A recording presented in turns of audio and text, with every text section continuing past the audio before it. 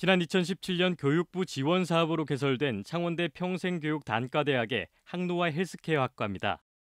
1학년에서 4학년까지 모두 80여 명의 학생이 다니고 있지만 전임 교원인 교수는 단 한 명뿐입니다.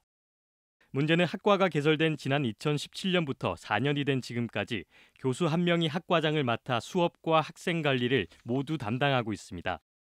학생들은 다른 학과에 비해 교수 수가 부족해 학습권을 침해받고 있다고 주장하고 있습니다.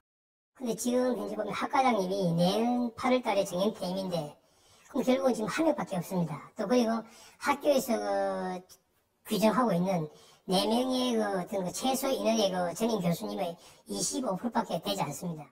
학생들은 이달 초 진행된 2학기 전임 교원 정원 배정에서 교수를 늘려달라고 대학 측에 요청했지만 받아들여지지 않았습니다.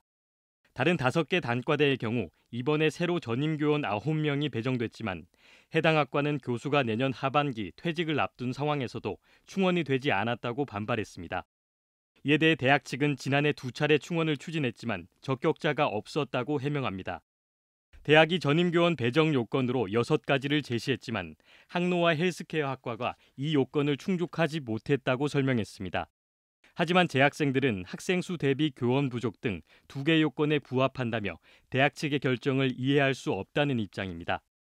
재학생들은 비상대책위를 꾸려 총장 면담을 요청하는 한편 요구가 받아들여지지 않을 경우 교육부에 진정서를 제출하기로 했습니다.